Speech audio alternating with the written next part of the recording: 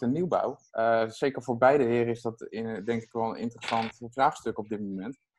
Um, allereerst bij jou, uh, Leon, uh, omdat we bij jou ook waren gebleven. Komt, komt er iets van de nieuwbouw in gevaar of in vertraging, of valt dat allemaal wel mee? Nou, nee. Zoals wij er nu gewoon in kunnen schatten, gaat dat gewoon geen gevaar opleveren. want dat zijn gewoon echt aparte trajecten. Ehm, daar zijn ook aparte geldstromen voor. Ehm, dus ja, daar gaat, dat gaat geen invloed vanuit onze kant in ieder geval negatief eh, op, opkomen. Nee. nee. Hoe zit dat bij VVSB, eh, Arjan? Ja, dat geldt wel een beetje hetzelfde. Ik denk dat wij wel een stukje, stukje verder zijn. Ze zijn nu begonnen bij ons aan de, de onze oude tribune is nu weg. En uh, ze zijn begonnen met de hele nieuwe accommodatie. Dus uh, de ingevingsvergunningen en dergelijke, die zijn, die zijn allemaal, uh, allemaal definitief. Ehm, dus dat, nee, gelukkig tot nu toe, zolang ze gewoon door kunnen en mogen blijven werken, daar is, er, is er niks aan de hand. Het enige is dat wij expres wat gewacht hadden, bijvoorbeeld met een, waar denk ik al wat verder mee was, met een obligatieplan. Dat hadden we, waren we wel mee gestart. Er waren best wel wat, wat, wat leuke bedragen binnen. Maar daar wilden we een beetje mee, mee, wachten. als, het, als we zouden gaan starten met de bouw, dan, ging het wat meer leven. Dus een animatiefilmpje laten maken en dergelijke, ja, dat staat allemaal klaar. Maar ja, dat heeft natuurlijk geen zin om dat nu, nu mensen lachen. Dus ja, dat, dat zijn van die kleine dingetjes waar, wat dan ja, uh, waar we dan even mee, mee wachten. En dan begin van het nieuwe seizoen hopelijk dat we uh, verder kunnen uitrollen. Maar voor de rest gelukkig, gelukkig dat geen negatieve invloed. Nee, je was in dat geval denk ik ben je vrij open geweest. Ook over de, de, de financiën bijvoorbeeld afgelopen weekend. Ik heb een bericht gezien op jullie Facebookpagina onder andere. Ik kan me voorstellen dat bijvoorbeeld de nieuwbouw is een grote kostenpost, maar ook allerlei andere zaken. misschien ook wel de, selectie bijvoorbeeld. Um, jij bent heel open geweest en gezegd, ja, wij gaan de zwarte cijfers niet halen uh, aan het einde van dit seizoen. Nee, nee. nee niet wat we, wat we jammer genoeg gewend zijn. Ik weet nog dat ik heel stoer zei van, joh, toen ik voorzitter werd van, nou, ik ga ervan uit, in mijn tijd gaan we, gaan we geen enkele jaren verlies leiden. dat, is, dat is tot nu toe ook gelukt. En dat, dat, dat, heeft natuurlijk ook mede te maken met de enorme successen die, die we geboekt hebben, voornamelijk ons, eerste. Maar ook wel om naar, naar andere geldstromen uh, te kijken. Um, nou ja, daar zouden we dit jaar ook gewoon weer op afstevenen. Maar ja, je hoeft geen professor te zijn om te weten dat, dat er heel wat wegvalt nu. En uh, ja, gaan we, gaan we dit jaar denk ik wel een klein verlies leiden. ondanks ja, de maatregelen die we, die we kunnen, die we kunnen nemen, dat we die ook nemen. En ook de, de steun die we krijgen ehm, tot nu toe. Ik, ik heb nog niet helemaal voor zelf kunnen inzoomen wat de KNVB vandaag heeft uh, bekendgemaakt. Uh, wat we daar eh, als club nog, nog aan hebben. maar aan de andere kant zit een, een IG-man, dus je weet er veel meer van, denk ik. Ehm, dus misschien moet hij een gedeelte van het salaris inleveren. Nou ja. Ehm, dus ja, nee. Maar ik vond het ook wel heel belangrijk om daar gewoon ja, open en eerlijk in, in te zijn. En daar geen kiekboe in in spelen. En ik, ik denk ook gewoon dat iedereen dat begrijpt. Uh, ondanks dat we nog steeds alles aan zullen doen om het niet, zo, uh, om het niet te laten gebeuren. Uh, maar het is ook afhankelijk of we straks wel weer misschien iets mogen gaan doen. en ja, dat is dus het, het, het ongerust waarin we, in we zitten. daar moeten we mee handelen. Ehm, en joh, dat is klein leed, laten we het zo maar noemen. Hè. Dus we hebben het ook omschreven. Natuurlijk voetbal de belangrijkste bijzaak van de wereld. Um, nou ja, dus het, we, we, doen er alles aan om het, om het, uh, zorg niet gebeurt, maar ik denk, van, ik denk het wel. Ja, maar is het dan ook zo, want eh, dat, misschien zeg ik dat als leek hoor, want waarschijnlijk zijn het hele andere potjes. Uh, maar dan denk ik, hé, hey, ik, hoor, ik zie dat bericht van uh, we gaan waarschijnlijk uh, rode cijfers krijgen. Aan de andere kant zie ik wel nieuwe spelersbewijs van spreken binnenkomen. En denk ja, die moet je uiteindelijk ook gaan betalen. of zie ik dat totaal verkeerd? Nee, dat, een klein beetje wel. Kijk, dit is, je moet ook niet, we gaan ook geen 10.000 euro's verlies maken. Hè? zo moet je het ook niet zien. Um, en, en, dat, en die spelers, dat is natuurlijk voor volgend jaar. Dus ja, je gaat er wel vanuit uh, dat, dat er volgend jaar weer uh, een, normaal, een normaal seizoen gedraaid kan worden. Kijk, en dit zijn ook spelers die jullie voorbij hebben zien komen, uh, die, wij, die wij natuurlijk daarvoor al geregeld hebben, zeg maar. En, en ja, dan, dan, je hebt gewoon wel een overeenstemming met elkaar. Dus dan, um, ja, dan gaat het niet, niet opeens contractbreuk plegen of zo. Dus, nou ja, wat we ook al in bericht zeiden, kijk, we hebben natuurlijk gewoon hele, hele goede jaren gehad. En toen zijn, we, zijn we een beetje op ons geld gaan zitten. En toen nooit weten dat dit ging gebeuren. maar wel altijd gezegd van ja, is, zeker toen ons eerste fantastische bekerseizoen. Ik heb wel eens gezegd, ja, we, we kunnen nu twee enorme goede spitsen gaan halen. En dan worden we misschien, gaan we meedoen in de top. En drie jaar later is geld op, ja, en dan? Dus dat hebben we niet gedaan. We hebben het in de accommodatie gestoken. We hebben onze schulden afgelost. Uh, en elk jaar wat reserves opgebouwd. Nou ja, en natuurlijk nooit weten dat zo zou gebeuren. Um, maar ja, dat, daar is het wel nu, nu goed voor. Dus we staan er gewoon financieel gezien nog hartstikke goed voor. en we hoeven ook qua nieuwbouw ons daar helemaal geen, geen zorgen over te maken. Maar het is natuurlijk altijd wel prettig om, om aan het einde van het seizoen een plusje te draaien. Dat hoeft, Kijk, we zijn een vereniging, dus het hoeft ook allemaal geen, uh, je hoeft geen enorme, enorme winst te maken. Uh, maar een klein plusje om die reserves op te bouwen uh, is, is, altijd, is altijd goed. Ja, die kunnen we nu mooi, mooi gebruiken. Ja, hoe zit dat bij, bij FC Lisse? Heeft de FC Lisse ook wat vet op de botten, om het zo maar te zeggen? niet zoveel vet als de voorzitter, maar we, hebben, we, hebben, nee, we hebben wel de afgelopen jaren, nou ja, de afgelopen tien jaar hebben we, is, het, is het prima gegaan. En hebben we dat ook altijd met zwarte cijfers uh, mogen begroeten.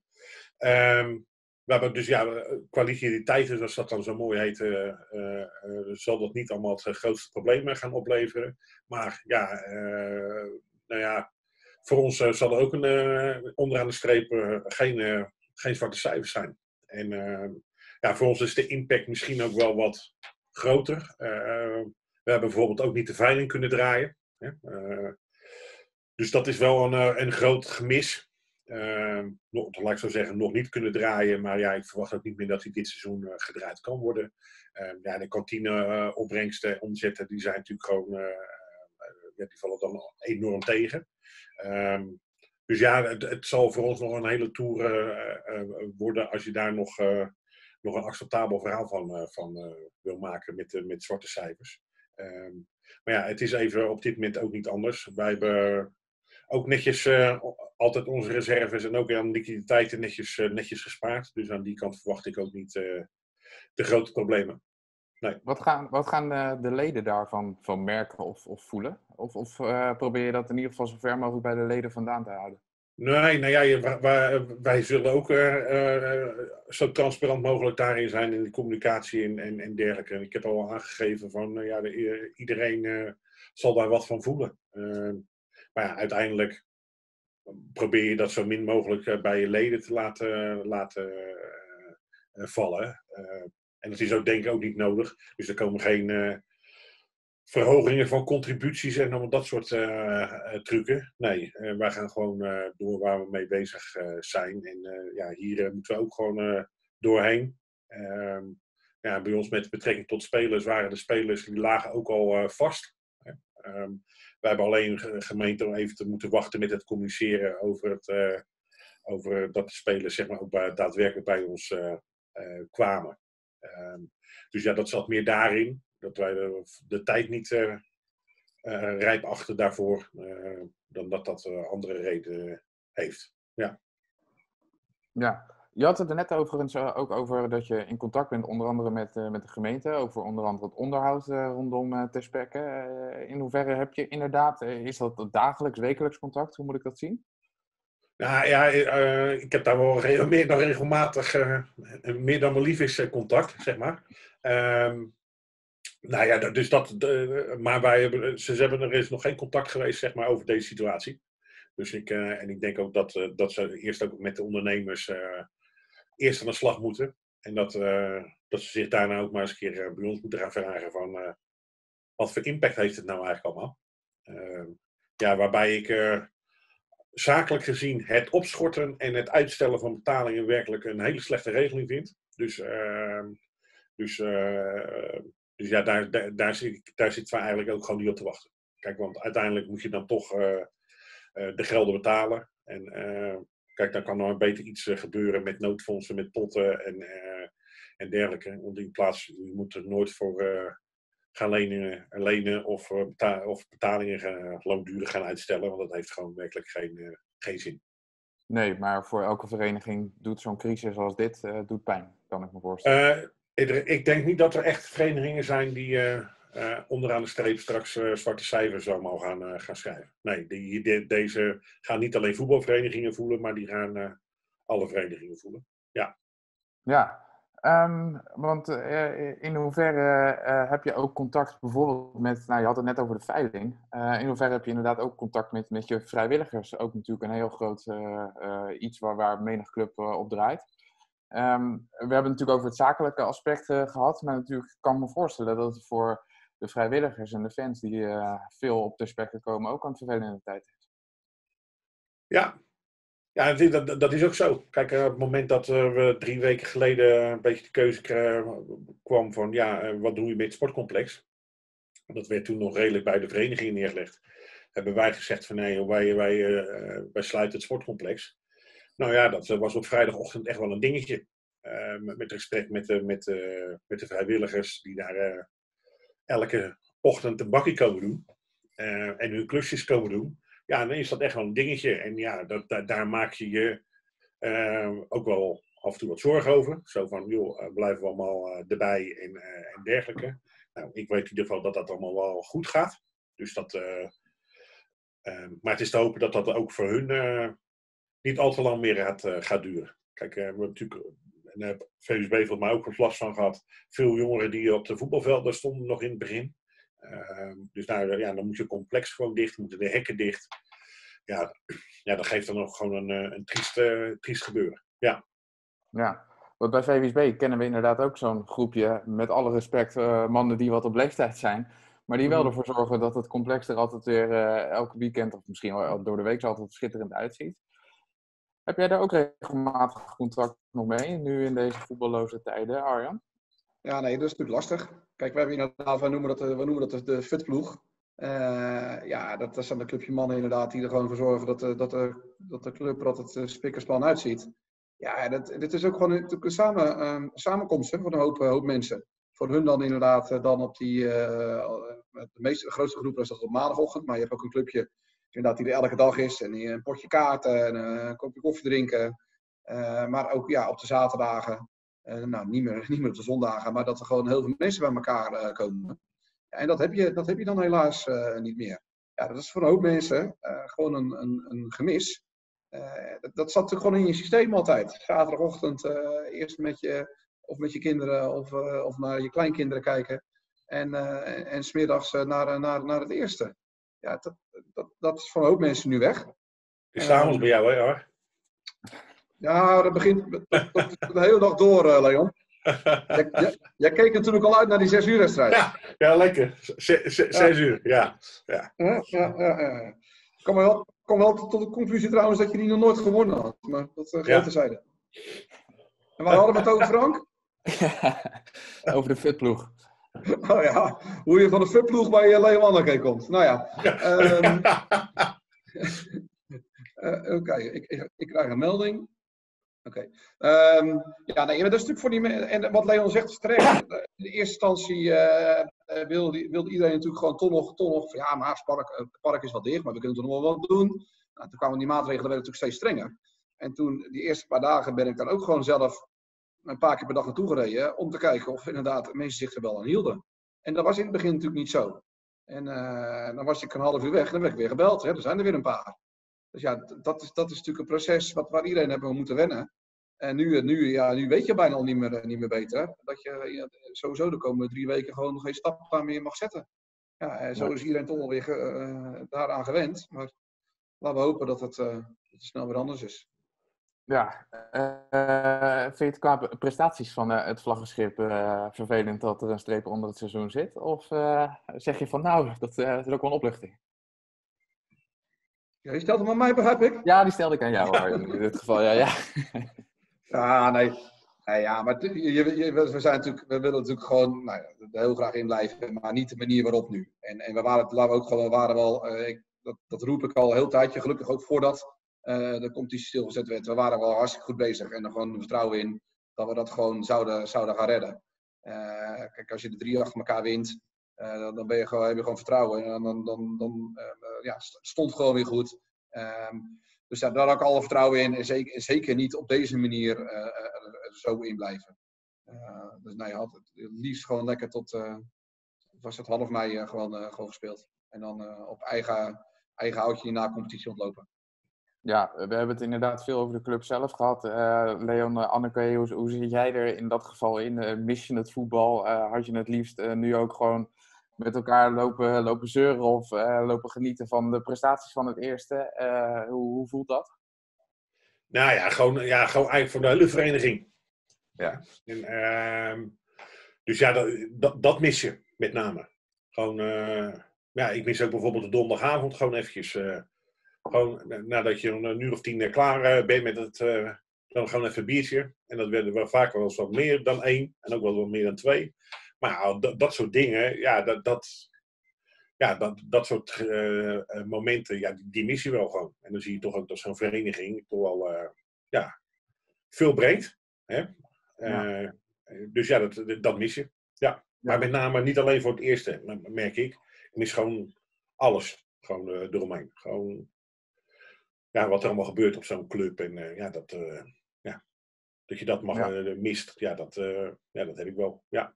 Tot slot, hoe, hoe zie jij in dat geval de, nou ja, laten we het een, een tijdspanne van maximaal een jaar opgooien, maar hoe zie jij de toekomst van, van Lisse na de coronacrisis, Leon Hanneke? Nou ja, ik, wat, wat ik natuurlijk, ik maak natuurlijk zakelijk, zie ik het ook gewoon gebeuren. Dus ik ben, ik ben wel benieuwd naar wat de impact op de wat langere termijn is. Kijk, we hebben nu hiermee te maken.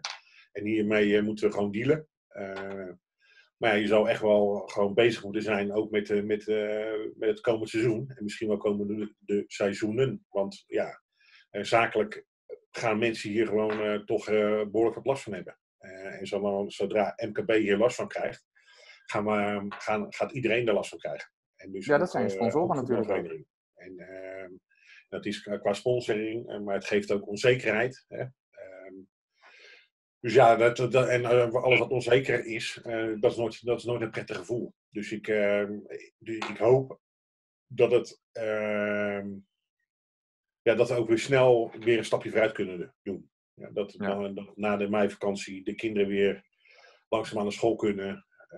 zonder, met, binnen de alle risico's die er zijn. Hè, want nogmaals, de gezondheid staat, eh, staat buiten alles. Maar eh, ja, we moeten wel gewoon langzaam ook gaan kijken van hoe, eh, hoe we dat gaan oplossen met elkaar. Ja. Sta jij daar hetzelfde in, uh, Arjen Broekhoff? Ja, natuurlijk. We gaan er van, met, met z'n allen nog, nog, nog wel een tijdje last van hebben. Dus dat, dat, en dat inderdaad, die sponsoren, dat zijn nu de mensen, die, uh, het MKB, die het nu gewoon uh, keihard uh, worden getroffen. Dus dat, dat, dat, gaat, dat gaat natuurlijk doordruppelen. Daar ontkomen we niet aan. Um, ja, en eh, weet je, ik, vandaag zakelijk nog ook, weet je, er is geen blauwdruk. Er is, het is een economische crisis, hebben we meegemaakt, maar dat is allemaal heel, heel, heel anders. Dus je weet niet, je, je hebt geen idee hoe lang dit gaat duren en, en hoe, snel, um, hoe snel dat allemaal weer hersteld is. Dus ja, daar, daar, daar zullen we met z'n allen keihard aan, aan moeten werken. En daar zijn we ook wel, wel weer Nederlanders voor, hè, om daar wel weer innovatief mee door te, in door te gaan. En je ziet natuurlijk alle kanten nu initiatieven omdat dat, dat, nou ja, restaurants, heel simpel, restaurants gaan opeens veel meer bezorgen. Nou, zulke. Dus daar zijn we ook weer het handelsvolk voor. Maar je moet zeker niet bagatelliseren. Dit gaat gewoon bij heel veel mensen, heel veel bedrijven gaan nog heel, heel veel pijn doen. En daar, daar zal je dan als vereniging ook absoluut last van. Ja, Heer, ik wil jullie in ieder geval bedanken dat jullie dit wilden doen. Het was ook een experiment voor ons. We het hebben af en toe ook nog wel meegemaakt in, uh, in deze sessie. Uh, maar bedankt in ja, ieder geval. de groeten. Ja, dat zal ik doen. We gaan hem even een bericht sturen. Nee, alle, allerlaatste vraag. eigenlijk aan beide heren. laat ik bij jou beginnen, Arjen Broekhoff. Wel gewoon gezond? Ja, gelukkig wel. Dat is wel, dat ik zeg al, het is klein leed dit, hè? Het is uh, mensen die het echt meemaken, of een, een dierbare die het eh, heeft of heeft gehad of al uh, verloren hebben, uh, dan is dit maar klein leed. Dankjewel in ieder geval voor vanavond. Ook voor jou nog, nog de vraag, Leon Anneke. Ook voor de rest zelf gezond en ook je ja. naasten? Ja, hier, hier gaat het nog allemaal goed. En ja, nogmaals, dit gaan we ook met elkaar allemaal weer oplossen. Dus dat, dus dat gaat allemaal goed komen. Mooi. Bedankt heren. Bedankt voor het gesprek. Uh, bedankt voor dit experiment en uh, hopelijk tot snel weer een keer langs de velden. Is goed, Frank. Groetjes. Ja. Hoi, hoi. Groetjes. Hoi, hoi. hoi. hoi.